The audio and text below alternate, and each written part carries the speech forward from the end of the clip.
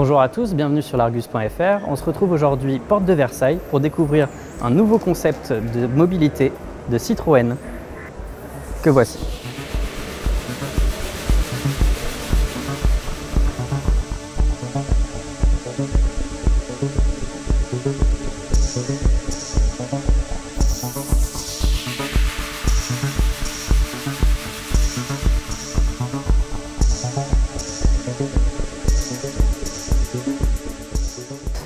Ces trois concepts sont basés sur une plateforme commune de 2,60 m de long pour 1,60 m de large et 51 cm de haut.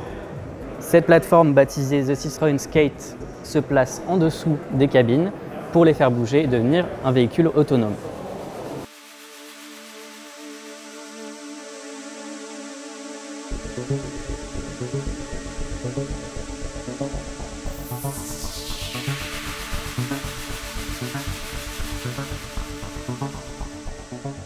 Réalisé en partenariat avec les sociétés Accor et JC Deco, ces trois cabines ont trois univers bien différents.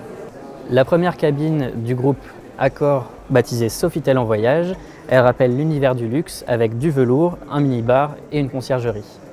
La seconde cabine d'Accor est plus sportive. Elle permet notamment de faire du rameur ou bien du vélo de l'autre côté et cela permet aussi de charger la batterie.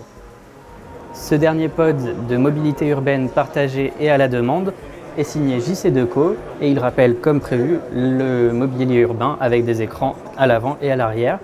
Il y a deux espaces distincts pour s'asseoir qui sont placés sous un toit végétalisé. Ces trois concepts de mobilité urbaine de Citroën n'ont pour le moment aucune date de sortie, mais peut-être qu'un jour ils seront dans nos rues. A bientôt sur l'argus.fr.